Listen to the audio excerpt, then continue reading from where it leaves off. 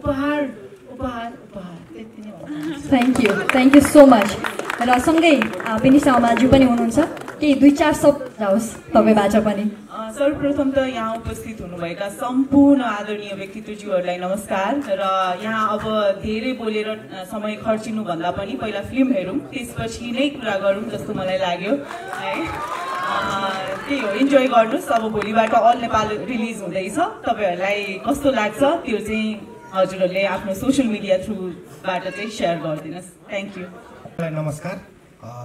म दुई चारपल्ट बोलिसकेका छु। हाम्रो चाहिँ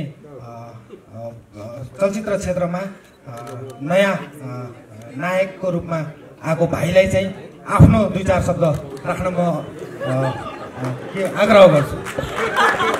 हुन्छ प्लिज समर्पण कार्कीजी हुनुहुन्छ। नमस्ते सबैजनालाई। यहाँ आइदिनु भयो आफ्नो अमूल्य समय दिनुभयो। त्यसको लागि धेरै धेरै मनबाट एकदम थ्याङ्कफुल छु।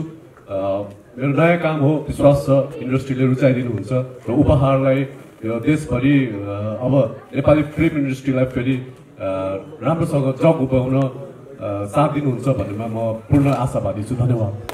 हार्दिक स्वागत। यहाँहरूको भूमिका अत्यन्त महत्त्वपूर्ण छ। उपहारलाई हाम्रा आदरणीय दर्शकहरू माझमा पुर्याउनको लागि सर्वप्रथम यहाँहरू सम्पूर्ण पत्रकारजीहरू मिडियाकर्मीज्यूहरूप्रति उच्च सम्मान र नमन प्रकट गर्न चाहन्छु।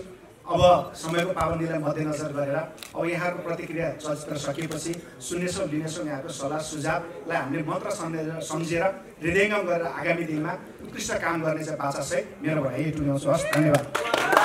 ग्रहण यहाँ आइदिनु भयो।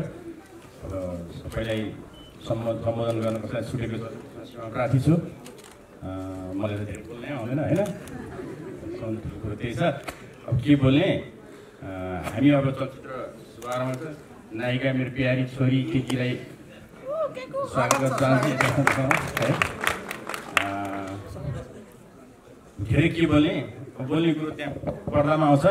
त्यसपछि बाहिर कमेन्ट पाऊँ। तपाईँहरूको साथ र सहयोगले चलचित्र अँ, को चाहिँ व्यापारमा ठुलो साथ दिन्छ तपाईँहरूले चाहिँ यसलाई सहयोग गरिदिनुहुन्छ भन्ने म आशा लिएको छु। आभार व्यक्त गर्छु हजुरहरूलाई। र चलचित्र सुरु गर्नुभन्दा अगाडि अमेरिकाबाट रेखाले एउटा पठाउनु भएको छ। उहाँको भनाइ सुनेर हामी चलचित्र सुरु गर्छौँ चलचित्र हेर्छौँ र बाहिर छलफल गर्छौँ। हस् धन्यवाद।